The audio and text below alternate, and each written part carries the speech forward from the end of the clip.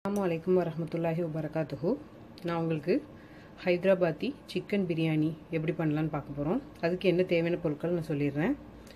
First இது ஒரு நாலு பேருக்கு தேவையான அளவுக்கு நம்ம செய்ய போகிறோம் அதுக்கு நாலு பேருக்கு தேவையான அளவுக்கு ஒரு கால் கிலோ ரைஸ் எடுத்திருக்கேன். ஜீரக சம்பளம் தான் செய்ய போகிறோம் பாஸ்மதி ரைஸ்லையும் யூஸ் பண்ணலாம். நல்லா ஊற போட்டு வச்சுருக்கேன். ஒரு வெங்காயம் நாலு பச்சை மிளகா இது குங்குமப்பூவை பாலில் கரைச்சி வச்சுருக்கேன். இது வந்து கலர் பவுடர் இது வந்து இஞ்சை கீச்சி வச்சுருக்கேன். அப்புறம் ரெண்டு பிரியாணி இலை பட்டை கிராம்பு ஏலக்காய் ஒரு நாலு நாள் எடுத்து வச்சுருக்கேன். இது வெங்காயத்தை எண்ணெயில் பொறிச்சு வச்சுருக்கேன்.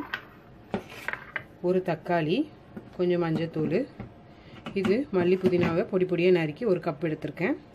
இது பிரியாணி மசாலா கடையிலே கிடைக்கும் பிரியாணி மசாலான்னு. தேவையான அளவு நெய் தேவையான ரோஸ் வாட்டர் ஒரு நாலு டீஸ்பூன் தயிர் இது மல்லித்தூள் ஜீரகம் ரெண்டு டீஸ்பூன் இஞ்சி பூண்டு தேவையான அளவு மிளகாத்தூள் அப்புறம் தாளிக்கிறதுக்கு எண்ணெய் இது ஒரு அரை கிலோ கறி எடுத்திருக்கேன். இது நான் சும்மா மஞ்சளும் உப்பு போட்டு தான் விரவி வச்சுருக்கேன். இது எப்படி பண்ணலான்னு பார்க்கலாம். ஃபஸ்ட்டு நம்ம ரைஸை வேக வச்சிடலாம். அதுக்கு நான் வெந்நியை போட்டு வச்சிருக்கேன். நான் ஆல்ரெடி வெந்நி போட்டுட்டேன். இதில் பட்டை ஏலக்காய் இன்னும் கொஞ்சம் போடுங்க. போட்டு அரிசியும் தட்டிடலாம். இது ஒரு முக்கால் பதத்துக்கு வேகணும். அரிசி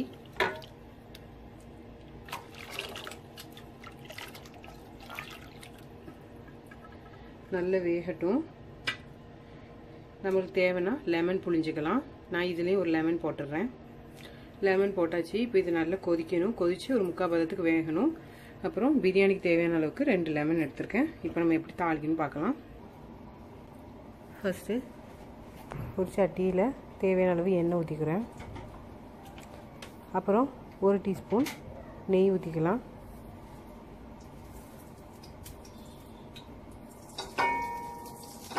கொஞ்சம் நல்லா சூடாகட்டும். இப்போ தேவையானது ரெண்டு பிரியாணி இலை பட்டை கிராம்பு ஏலக்காய். எல்லா மசாலாவையும் நம்ம போட்டுக்கலாம்.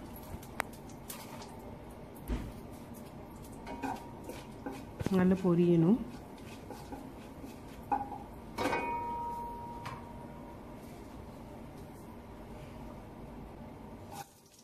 பச்சை மிளகா போட்டுக்கிறேன். அப்புறம் ஒரு வெங்காயம் நறுக்கி வச்ச வெங்காயத்தையும் போட்டு நல்லா வதக்கணும்.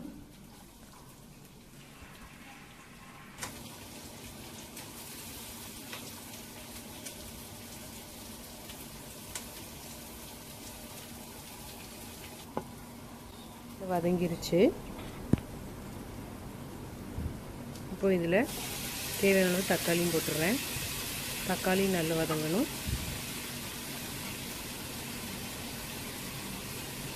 ரெண்டு டீஸ்பூன் இஞ்சி பூண்டு போட்டுக்கலாம்.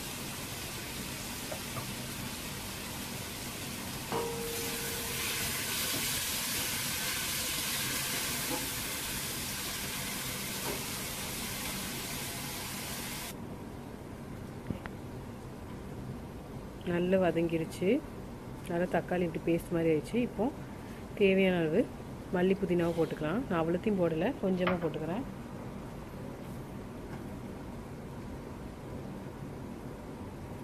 கொஞ்சம் இந்த பொரிச்ச வெங்காயத்தையும் கொஞ்சம் போட்டுக்கிறேன். நல்லா வதக்கிக்கலாம். இதுக்கு அவ்வளோ மசாலா ரொம்பலாம் தேவைப்படாதுங்க. இந்த மாதிரி தம் பிரியாணிக்கு கம்மியான தக்காளி வெங்காயம் போதும். இப்போ நல்லா வதங்கிருச்சு. இப்போ நம்ம மசாலாஸ்லாம் ஆட் பண்ணிக்கலாம். நான் ரெண்டு டீஸ்பூன் மிளகாத்தூள் போடுறேன். அப்புறம் ரெண்டு டீஸ்பூன் பிரியாணி மசாலா போடுறேன். இது சேமஸ் கரம் மசாலா மாதிரி தான் கடையிலே கிடைக்கும். ஒரு டீஸ்பூன் மஞ்சள் தூள் போட்டுக்கிறேன்.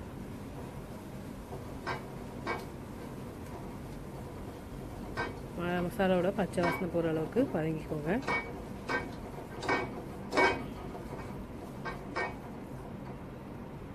நம்ம எவ்வளோக்கு வதக்குறோமோ அவ்வளோக்கெவ்வளோ பிரியாணி நல்லா டேஸ்ட்டாக இருக்கும்.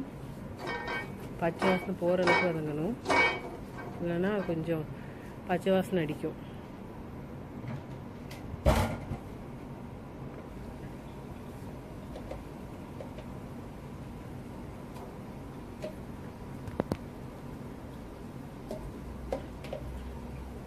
தேவையான அளவு தயிர். நான் ஒரு அஞ்சு டீஸ்பூன் போட்டுக்கிறேன். தயிர் எதுக்கு போடுறோன்னா ரொம்ப காரமாக இருந்தாலும் அந்த காரத்தை கம்மி பண்ணும். அதுக்கப்புறம் சிக்கன் வந்து நல்லா சாஃப்டாக ஆகும். அதுக்காக தயிர் யூஸ் பண்ணிக்கிறோம். தயிர் போட்டு நல்லா கிண்டிக்கணும்.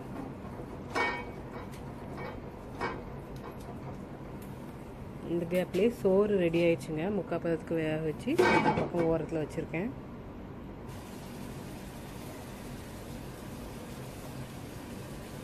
அஞ்சு நிமிஷம் கிடக்கட்டும் இப்போ அஞ்சு நிமிஷம் ஆயிடுச்சு. எப்படி நல்லா வெந்திருக்குன்னு பாருங்கள் உப்பே நான் போடலை. உப்பு நான் தேவையானது போட்டுக்கிறேன். சிக்கன்லேயும் ஆல்ரெடி உப்பு போட்டு கலந்து வச்சுருக்கேன்.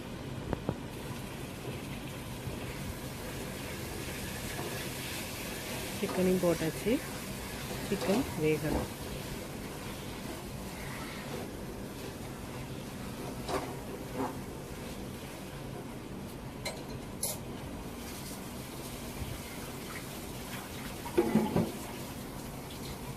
சட்டிலே வேக போட்டால் தான் நல்ல டேஸ்ட் கிடைக்கும். நீங்கள் வந்து குக்கரில் போட்டிங்கன்னா சீக்கிரம் வெந்துடும் அந்த டேஸ்ட் இருக்காது. சட்டிலே போட்டு வேக வைங்க. ஓரளவுக்கு வந்துருச்சு. இப்போது ரெண்டு டீஸ்பூன் மல்லித்தூள் போட்டுக்கிறேன்.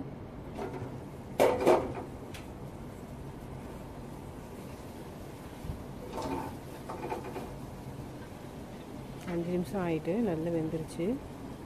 பாருங்கள் எப்படி வெந்திருக்குன்னு பாருங்கள் இப்போ இதில் ஒரு லெமன் புளிஞ்சு விட்டுக்கலாம்.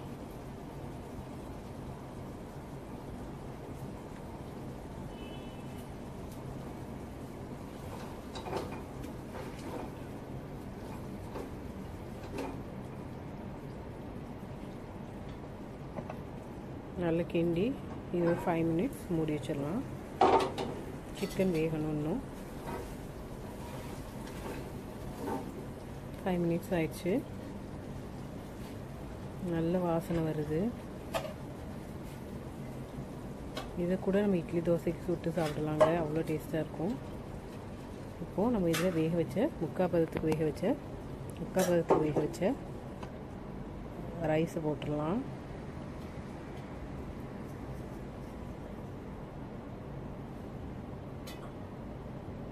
ஃபுல்லும் நான் போட்டுட்டேன் ரைஸை இப்போ இதில் அந்த நறுக்கி வச்ச இஞ்சை போட்டுடலாம்.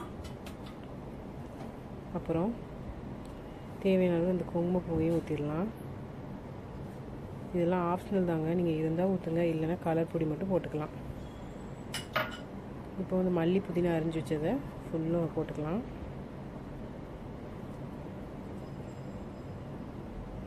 அப்புறம் பொரிச்சு வச்ச வெங்காயத்தையும் எடுத்துக்கோங்க. அதையும் மேலே தூத்திக்கோங்க.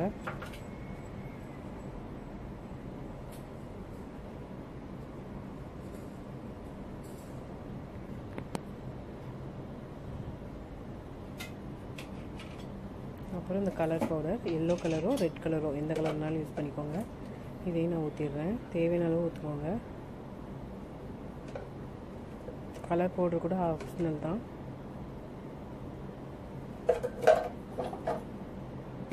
ஒரு டீஸ்பூன் நெய் ஒன்று ஒன்றரை டீஸ்பூனும் போட்டுக்கோங்க.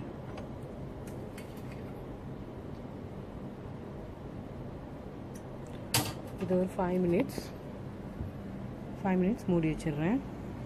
இதுக்கப்புறம் கொஞ்சம் ரோஸ் வாட்டரும் ஊற்றணும் ஃபைவ் மினிட்ஸ் ஆயிடுச்சு. இப்போது ரோஸ் வாட்டர் வந்து ரெண்டு முடி ஊற்றிக்கிறேன் இது நான் வந்து வாசத்துக்காக நெய் வாசம் குங்குமப்பூ வாசம் எல்லா வாசமுமே இந்த ஹைதராபாதி பிரியாணிக்கு தேவை. மூடி இது ஒரு ஃபைவ் மினிட்ஸ் நான் வச்சிடுறேன்.